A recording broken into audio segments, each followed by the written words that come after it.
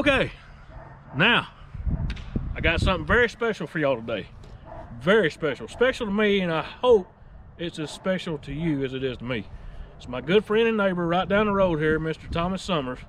He's going to be plowing his garden with his mules, Pat and Pearl. I hope y'all enjoy it, and I hope you're having a great day. Now, y'all, I'm going to try to keep the commentary to a minimum. If y'all have any questions about what he's doing, just drop it in the comments below, and I'll be glad to help you. But I want y'all to notice the barn manners that these mules have.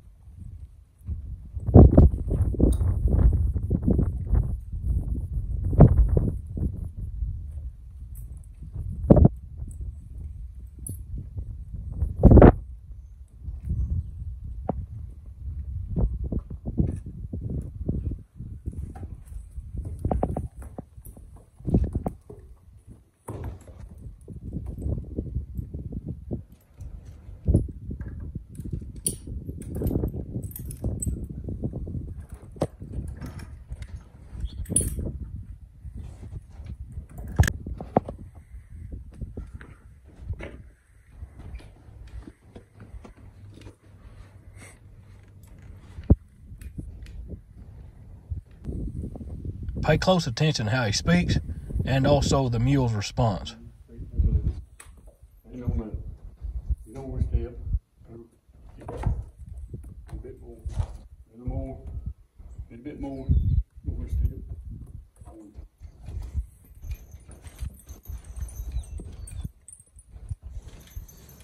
Now y'all check out his harness rig there. He said this is mighty handy for an old man.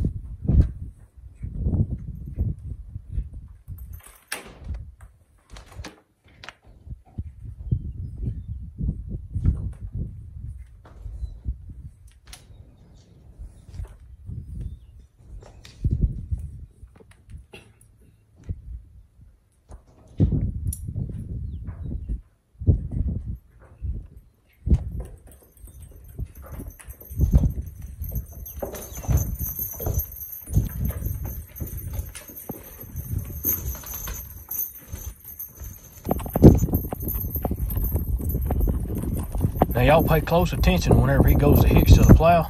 Listen how he speaks to them. He'll tell them to straighten up, you know, and get over and such as that, so they'll line themselves up so he can make it easier on himself. Listen.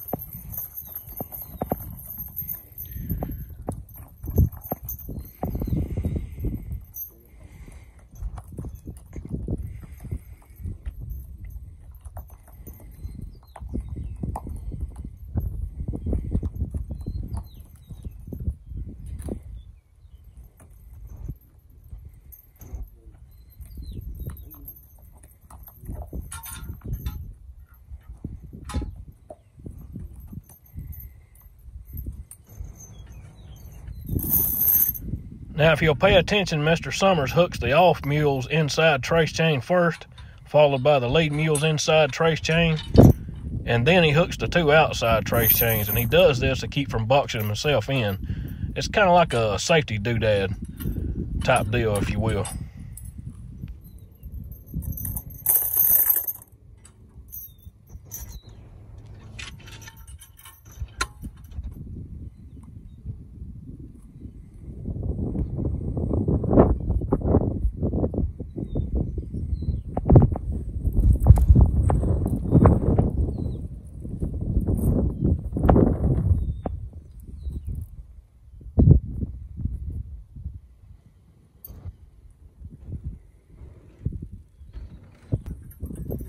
He's gonna get that last trace chain hooked up and he'll be ready to go.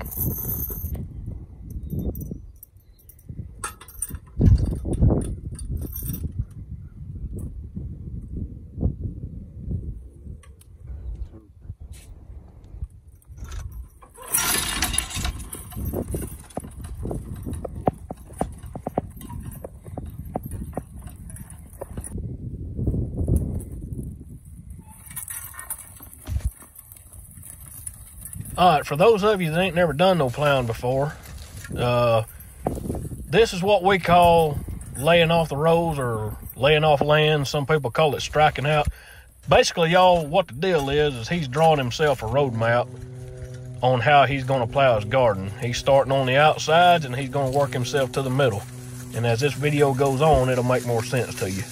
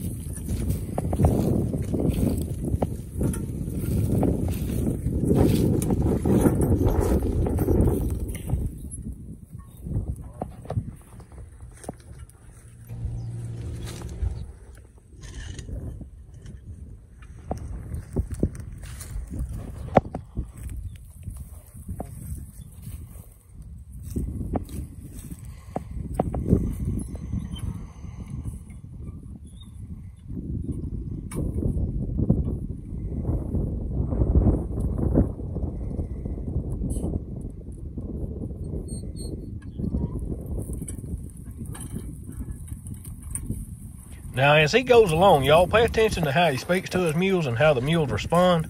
And I'm going to put their names in the video also so you can tell which is which. Just listen to how he speaks to them.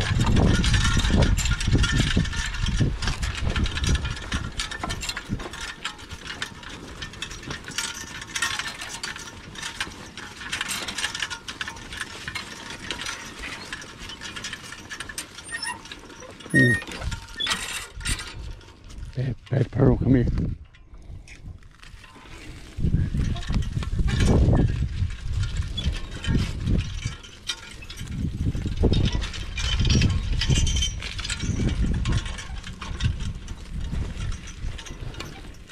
Hold it.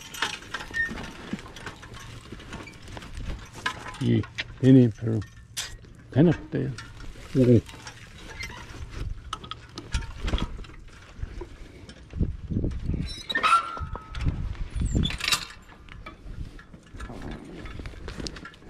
That pearl get in. Climb it.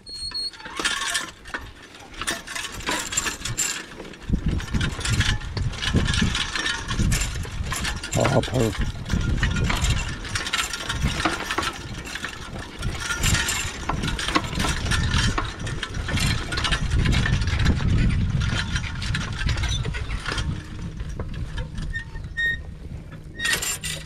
Oh, pearl, pet, come here.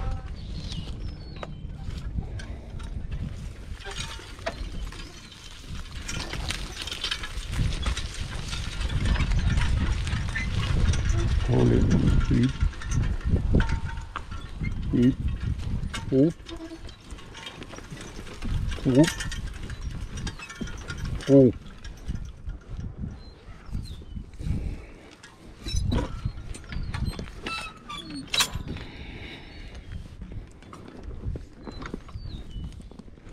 That girl, stand up little.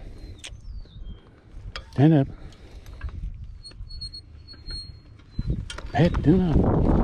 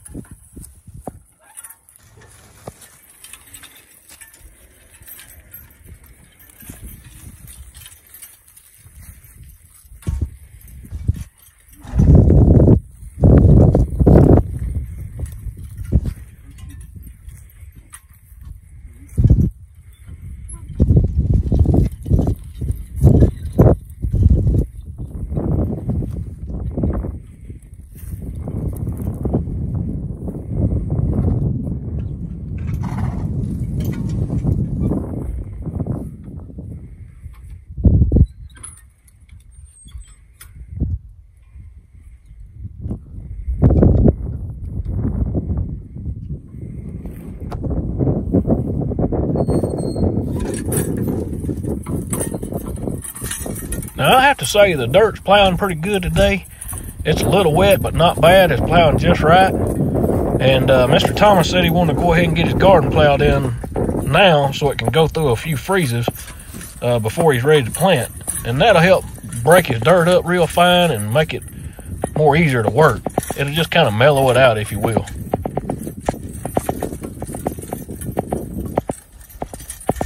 And I tell y'all something else, I'm mighty surprised that he let me put my GoPro camera on him, but I'm glad I did because he speaks so softly to his mules that standing beside of him like I am here, you couldn't hear what he says. Those mules can hear him, but we can't. You know, he told me one time, he said, the louder you speak to a mule, the louder you're going to have to speak to him. He said, tell them once and then make them do what you want them to.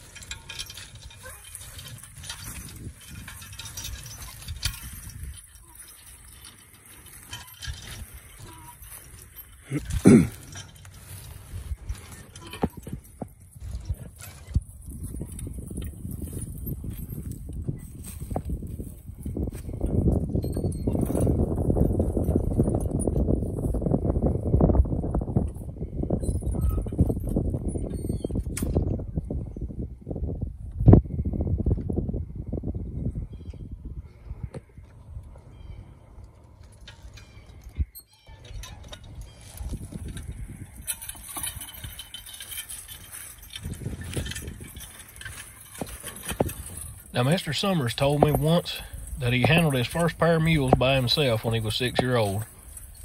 He's now 83 years young, and his two mules, Pat and Pearl, are 21 years old this spring. But none of them look their age. I believe the work has helped them a lot, and these mules love to work as much as he does, I do believe.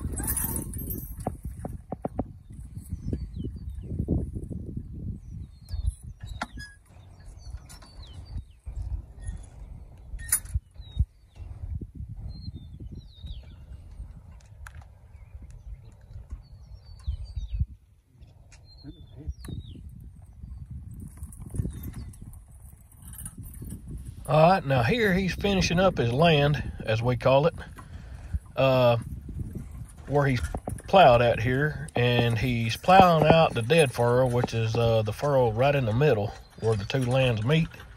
Uh, we call this a dead furrow, and there'll be a little small ditch there uh, in his garden.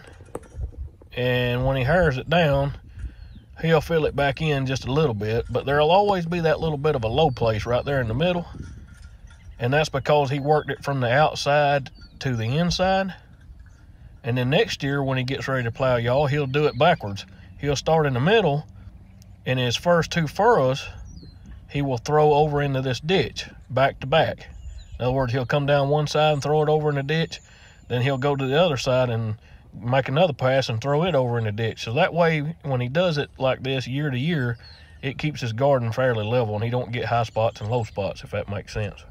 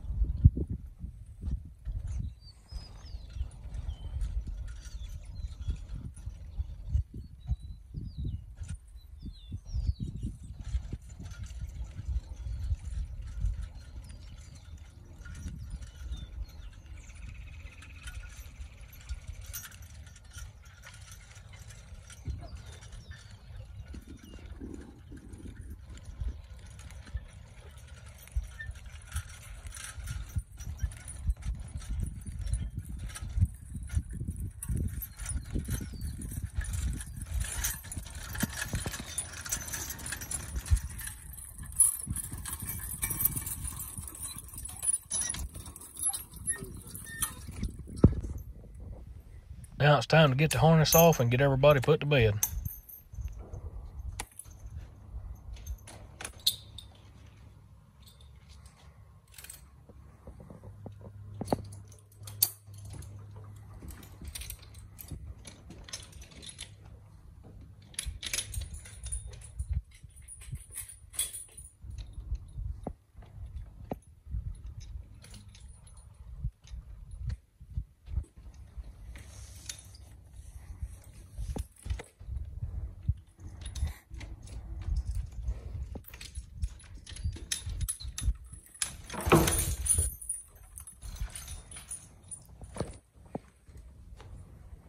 Put some geese straighten up a little. Straighten up a little. A little more. Go over a more. A little more. Step over. More.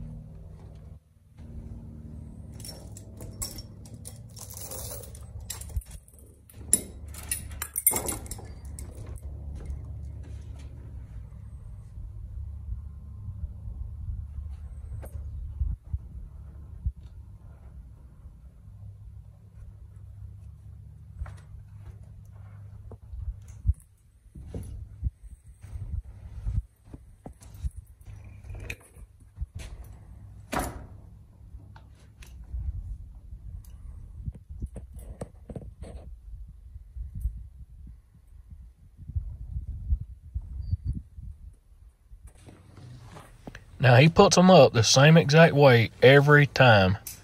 Y'all notice how these mules go through the process. Watch them here.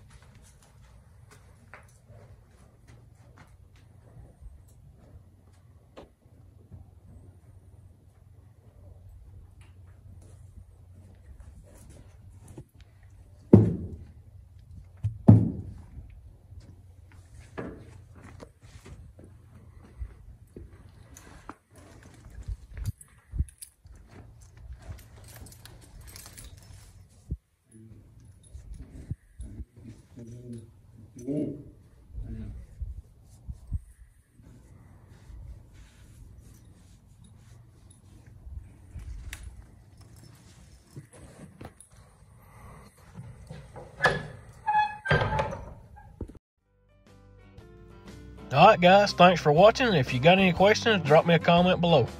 Take care and have a good one.